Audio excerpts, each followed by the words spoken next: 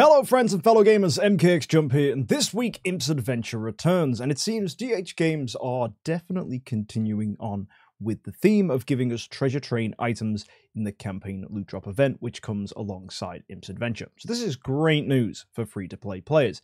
A few small things have happened in the shop, so we'll talk about those, but overall, this looks like a really good event. Before we check it out, though, let's check out today's sponsor, Angel Legion. Angel Legion is a sci-fi idle RPG similar to Idle Heroes, but set in space. You put together a team of angels, combining their abilities into epic combos to explore the galaxy, defeat powerful foes, and when all that fighting is over, you can hang out with your heroes in the cabin to relax and unwind. The heroes in this game are fully customizable and you can dress and change the way they look to your heart's content, and there's lots of different heroes in the game for you to experiment with to find which team you like the most for making progress. Exclusive for this week, Google Play users looking to get themselves some rewards on their Angel Legion account can get 10 free summons and a unique fashion item. All you need to do is head to your account menu and select the gift exchange button. From there, enter the code BCXI 4877. Hit confirm, and then you'll get yourself 10 free summons and a unique fashion item. Then all you need to do is head over to your heroes, unlock that fashion item, and equip it to whichever hero you like. So folks, if you want to help out this channel and try out a free-to-play gacha game, check out Angel Legion, and you never know, it might be your new favorite game to play alongside Idle Heroes. Anyway folks, let's go check out this week's event.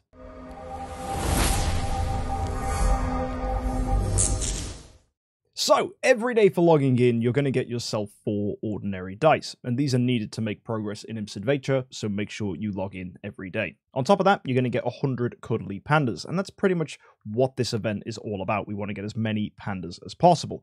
Now, they're pretty easy to obtain if you just claim them from campaign, so make sure you log in frequently and pick these up. But the most important thing you need to do is make sure you're engaging with the imp's adventure.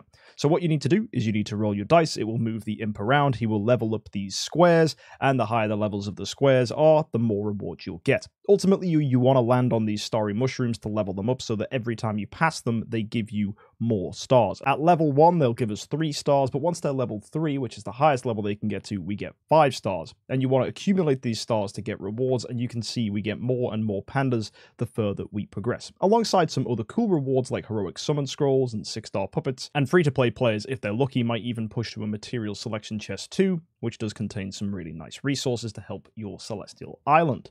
Now, overall for this week, we have our value packages. These are giving us gems and dice. No train tickets are available in this, and there's no reason to spend your contract story gems on these either. So in my personal opinion, do not pick up these value packs. They're not worth it.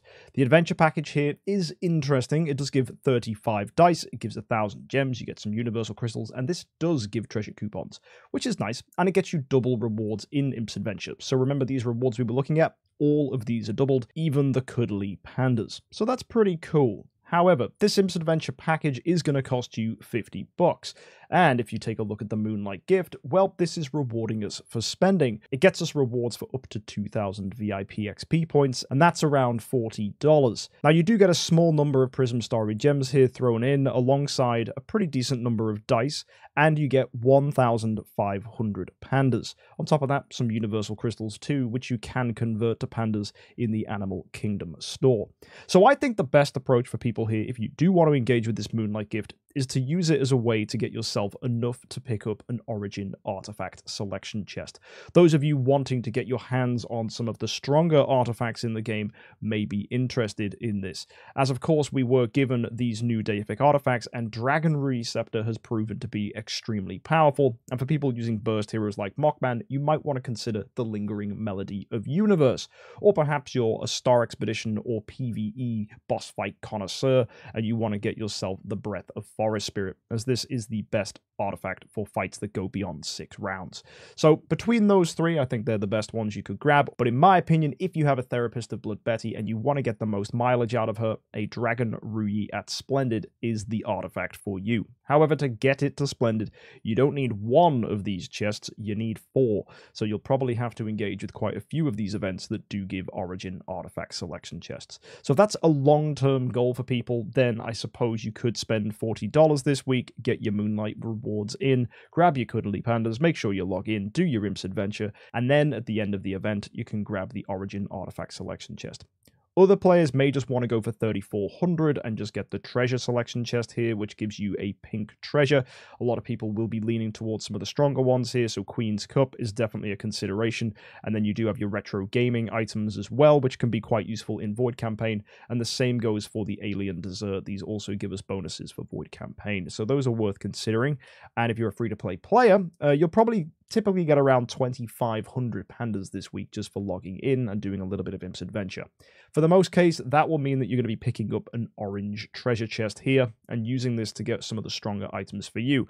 I would recommend the Lady Sunshine hat to anyone that uses a Betty, as this will improve the control immunity offset of mages, or if you're just looking for maximum attack, you could go with the Soul Conjuring Flute, as this has the best attack scaling of any item available in the hero token, and hero token as an area does give you more attack than anywhere else if you invest in it. One thing you'll notice is the Starspawn cores have changed in price. They were 1500 last time, now it's 2200. You shouldn't really be going for these anyway. I think overall the bonuses given by Starspawns are eclipsed hugely by the treasure train buffs, so just invest in the treasure train items and ignore the Starspawn stuff. Starspawn rewards do come actually in other ways. You don't need to worry about these. Get the treasure items, especially if you're free to play. You can ignore things like flags and artifacts. I wouldn't really use this event to pick them up up, I would just use this for treasure bonuses. If you have anything left over, probably want to go for Heroic Summon Scrolls, as we do have some big Heroic Summon Scroll events coming along, or maybe you just want to pick up Spirit and Gold with whatever is left. Finally, we have the Shelter Mission. This has Inosuke, who weirdly enough needs Assassin 4 stars. He is a Ranger, but I guess they've just gone with assassins here, and you need a five star from his faction. The true is same for all the other heroes, so Betty is going to need mages, you'll need priests for Melissa, and then finally, Natasha is going to want you to have assassins, so you'll need Akasha for this one. If you go ahead and grab these four heroes, you'll get yourself a copy of the hero, four star armor, and most importantly, five ordinary dice for each hero. So that's 20 dice in total. If you look at the Mockman and the Yom Tum, these do not give dice or armor and will actually end up spending 2,000 of your gems. This is not worth it, so do not go grabbing this. Save your gems for better events. On a topic of saving gems, though, one thing you'll notice is you can spend gems to get Imps Adventure dice to help you make progress here. I would generally refrain from doing that. You don't need to make a lot of progress in Imps Adventure to be able to buy the orange treasure chest. So personally, if I was a free-to-play player, I would absolutely hoard my gems. I wouldn't spend them on an event like this, and I would just see how far I can get with the dice I'm given this week, and then use that to go ahead and buy the orange chest in the Animal Kingdom and use what's ever left to get some heroic summon scrolls. And all in all, that is this week's event. No big need to spend. $40 is probably the most you'll want to. Some people will use the Imps Adventure package at $50 to get themselves that. Other people may just decide not to do that and instead just top up their privilege cards, maybe get the treasure crystal card, or if you need it, the monthly carnival card is probably something worth buying as well, as that also falls into the $40 price point, and you can just stack those things together to find the ideal selection of rewards for you. Next week, it returns the card Clash of Illusion, so this is super duper exciting to see this come back, and hopefully the Glorious Treasury makes a return as well, and it should be a great way that people can get some really big rewards. Maybe DH Games change how card Clash of Illusion works, we'll have to see. It was the first ever time we had it last month, so to see what they bring next time is going to be quite exciting. So, folks, hit that subscribe button if you want to see what changes DH Games make to the card Clash of Illusion, and go check out some of my older videos about Card Clash if you're curious about what you need to know for moving forwards. Generally, though, it's good to save contract story gems and gems for this event, as Card Clash will ideally want you to spend some of those. So, a relatively simple week this week, very standard Imps Adventure. It uses the new reward system, which I definitely like, and giving free to play players access to treasure train items is always good. So, let me know in the comment section what you guys are going to chase this week. Are you going to go for spending? Are you going to be free to play this week? What are your plans? Let me know below. Either way, subscribe for more content like this. Join us every Friday for event reviews. I'll see you next time. And of course, have an amazing week and happy idling.